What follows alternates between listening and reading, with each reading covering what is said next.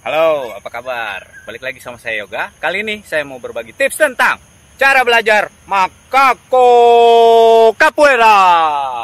Gue ditemenin bareng Wisnu. Dia akan nyontohin cara belajar capoeira. Empat step, mulai dari pemula. Jangan lupa pemanasan, cari tempat enak, dan tetap aman di rumah aja. Oke Wisnu, hal yang pertama dilakukan adalah jongkok jongkok. Oke, tangannya di jongkok. depan Nah, tangan di depan. Yang satu di belakang Oke, ke situ. Itu posisi di belakangnya ke mana itu? posisi belakangnya Seenaknya aja ya? seenaknya aja Oke, siap. Oke. Hal pertama Nanti. yang harus dilakukan adalah jongkok dan tangan Dan kalian yang kanan atau yang kiri ke belakang. bagian kanan di di kanan bagian kiri di kiri Ya, pinter Oke. banget memang. Sip.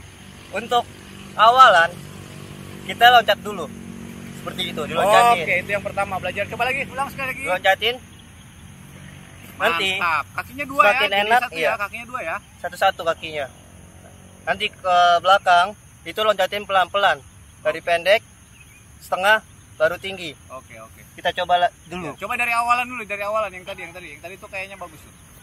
Menarik. Nah, teman-teman belajar gitu dulu ya. diloncatin dulu Pelan-pelan ya, itu ya? ke atas pelan-pelan Oke. Ya, oke, yang kedua seterusnya. yang kedua loncatin ke belakang Wow, Pendek. pokoknya mendarat dua kaki dulu ya. iya Oke, teman-teman bisa mendarat dua kaki untuk terlebih dahulu. Terus, lalu yang kedua setengah oke. nggak terlalu pendek nggak terlalu tinggi oke Wah, itu lebih Pendek. naik lagi ya. iya Itu tenaganya dari ngayun mana tuh? ini tenaganya tangan itu untuk menompa Oh, oke. kaki untuk loncat ke atas Oh, jadi nge- nge- ngikut. Itu tangan yang satunya yang atas buat yang ya? satunya untuk mendorong ke belakang Oh, biar iya, kuat. Oke. oke kita ulang lagi yang setengah dilihat baik-baik tangannya ikutan ngayun Oke, bisa diulangin? oke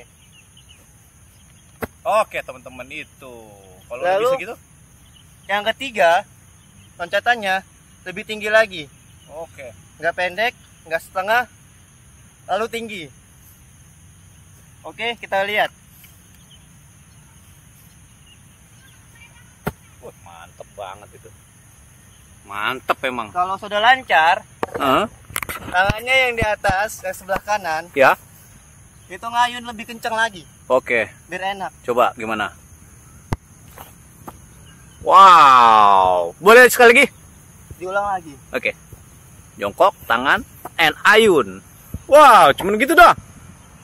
Simple untuk pemula Oh. dan juga terlalu mudah Oke, yang penting hati-hati ya. stay safe